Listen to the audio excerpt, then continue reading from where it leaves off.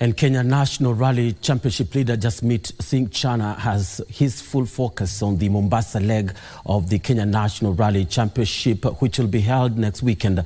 Chana is leading the season's log on 146 points. KNRC leader Jasmeet Chana is eyeing another win at the Mombasa Rally next weekend. With 146 points, he currently enjoys a 67 point advantage on the log, ahead of McRae Kimathi, who is second, while Rally youngster and round one winner Jeremiah Wahome sits third with 54 points. The Kenya National Championship, uh, it's very important for us now to make sure we finish each and every event in the top positions uh, to extend our lead.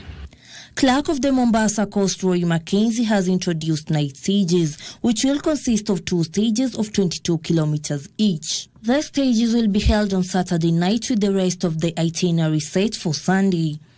Kush Patel is fourth on the standings with 49 points, five points ahead of Nikhil Sachania, while Carl Tundo has 39 points in sixth position. Ian Duncan is 10th on just 25 points.